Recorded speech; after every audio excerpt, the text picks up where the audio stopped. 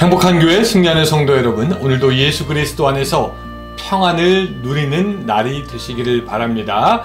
하루에 성경 한 장 읽고 묵상하며 5분 메시지 나누고 30분 각자의 처소에서 기도하는 새벽 경건의 시간 153 시간입니다. 하나님께서 우리에게 선물로 주신 이날 8월 7일 월요일 순서인데요. 자, 오늘은 사무엘상 10장 여러분들과 같이 나누려고 합니다. 성경 말씀은 어, 25절부터 27절까지 같이 읽도록 하겠습니다. 10장 25절부터 27절까지입니다.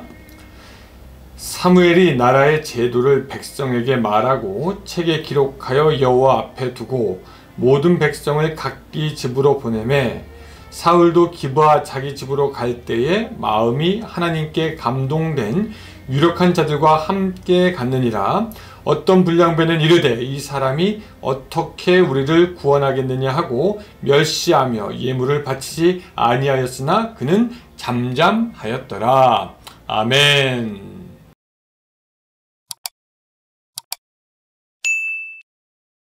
오늘 본문은 하나님께서 본격적으로 사울을 택하는 장면을 우리에게 보여줍니다. 우리가 오늘 본문을 통해서 얻는 교훈은 하나님께서는 당신이 쓰실 사람을 찾아 쓰신다라는 겁니다. 오늘 하나님께서 사울을 찾으시고 그를 왕으로 세우는 장면을 보면은 우리는 사실 놀랄 수밖에 없습니다.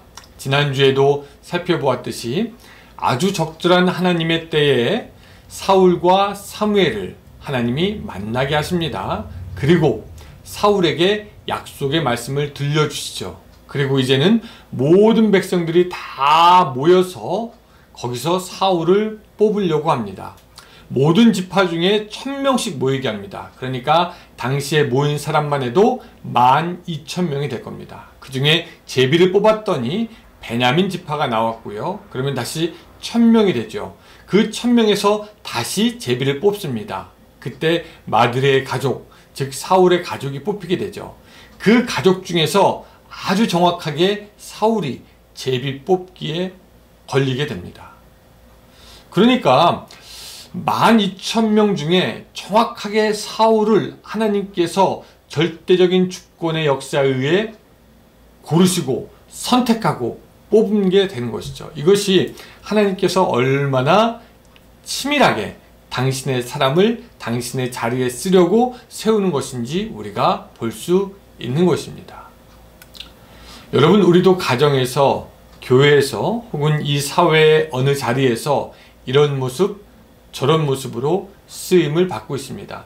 뭐, 개 중에 어떤 사람들은 자기가 잘나서, 뭐, 혹은 자기밖에 할 만한 사람이 없어 자기가 거기서 일한다라고 생각하는 사람도 그렇게 교만한 사람도 있을 거고 또 어떤 사람들은 아유 내가 이 감당하는 부분이 아주 작고 조그만 것이어서 그냥 부끄럽습니다 라고 생각하는 사람도 있고 또 하나님이 시키시는 일을 참 불평하면서 그렇게 하는 사람도 있고 또 어떤 사람들은 아 이것이 그냥 나를 얽매이는 것이다 라고 하면서 하나님의 일을 거부하고 싶어하는 그런 사람들도 있는 것 같습니다.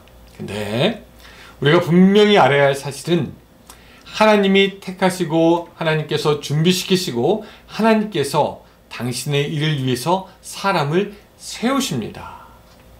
여러분들이 지금 그 가정에 있다면, 지금 그 직장에 있다면, 지금 그 교회에 있다면, 지금 그 사회에 있다면, 사실 하나님께서 여러분들을 그곳에 세우신 것입니다.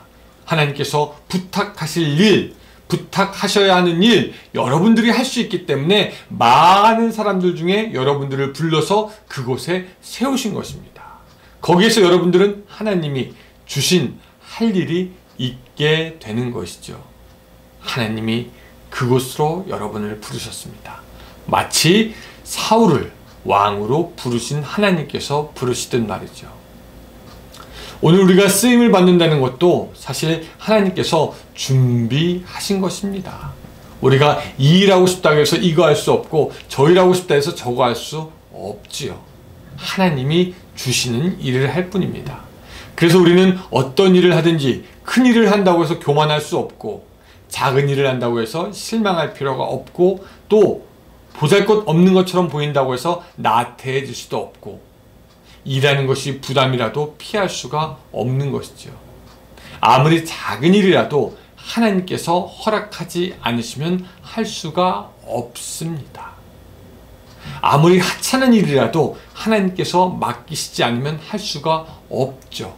그래서 저희는 작든지 크든지 주어진 일에 최선을 다해야 하는 것입니다.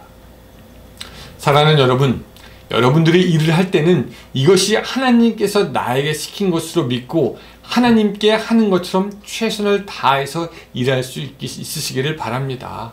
오늘 하나님께서 우리에게 어떤 일 맡기셨는지를 알고 그것을 위해서 열심히 일하는 사람은 일의 크기와 중요도에 상관없이 이미 행복한 사람입니다. 또 하나 본문을 통해서 우리가 보는 것은 사실 모든 권위는요 하나님께로부터 나온다라는 겁니다. 사울이 드디어 왕이 되었습니다. 사무엘을 통해서 미리 알려주셨고 또 제비 뽑는 그 과정을 통해서 하나님의 계획이 확실해지고 확신이 되어, 확인이 되었습니다. 그래서 모든 이스라엘 백성들은 기뻐하고 감사하고 즐거워하는데 27절에 보면 재밌는 구절이 나와요. 어떤 불량배는 이르되 이 사람이 어떻게 우리를 구원하겠느냐 하고 멸시하며 예물을 바치지 아니하였으나 그는 잠잠하였더라 라고 말씀하고 있습니다. 옛날 성경에는 비류라고 나오더라고요. 무익하고 쓸모없는 사람들을 가리키는 말입니다. 그런 비류들이 그런 불량배들이 아 어떻게 그 사람이 우리 이스라엘을 구원한단 말이야 막 이러면서 이제 막 예, 얘기를 하고 있는 것이죠. 멸시하면서 마땅히 드려야 할 예물을 드리지 않습니다. 일단 왕이 된 사울은 그런 사람들을 보면은 자존심이 상할 수도 있고 괘씸하게 생각할 수도 있죠. 왕이 된 기념으로 저들을 매우 치라 할 수도 있었을 겁니다. 옛날에 보면은 새로운 왕조가 들어서는데 새로운 왕조가 들어서면은 그전 왕조에 있던 사람들은 다 치잖아요. 그렇죠? 그리고 처음부터 군기를 잡고 시작합니다. 마찬가지로 사무엘이 이제 새롭게 왕이 되어서 이스라엘을 시작하는데 누군가 비우는 사람이 있다? 아마 저 같으면은 저놈들을 어떻게 해라 뭐 이런 식으로 바로 그렇게 징계를 내릴 수가 있었을 텐데 오늘 이 사울은요 본문에 보면은 잠잠하였다라고 이야기하고 있습니다. 여러분 우리가 일할 때도 이런 일이 있지 않습니까? 우리가 무엇인가 하려고 할 때 소위 여기저기서 어떤 갑질을 하는 사람들도 있고 우리를 힘들게 하는 사람들이 있고 말로 어렵게 하는 사람들이 있습니다. 오늘 사울을 통해서 우리가 배워야 할 점은 무엇이냐면요. 잠잠하였다라는 겁니다. 왜? 이 어차피 모든 권위와 그 인정하는 것은 바로 하나님께로부터 나온 것이기 때문입니다. 인간이 뭐라고 얘기하면은 우리가 신경 안쓸 수는 없겠지만 거기에 일이 일비할 필요가 없습니다. 거기에 같이 말려들어서 여러분들이 피곤해질 필요가 없습니다. 그것 때문에 기도가 끊어질 필요가 없고 시험에 들 필요가 없습니다. 왜? 하나님이 우리에게 하나님이 우리를 위해 하나님이 바로 여러분들을 그 자리에 세우신 것이기 때문입니다. 모든 권위는 하나님께로부터 나온 것이지요.